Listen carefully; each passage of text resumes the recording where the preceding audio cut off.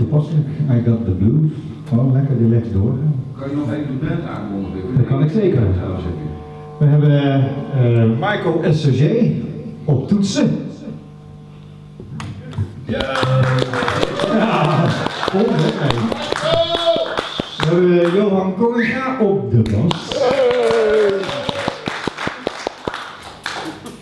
En we hebben Ruud Salman op percussie. En het volgende nummer dat eh, gaat over een maandje of drie, vier op een cd komen, All Sorts. En deze heet eh, I Got The Blues.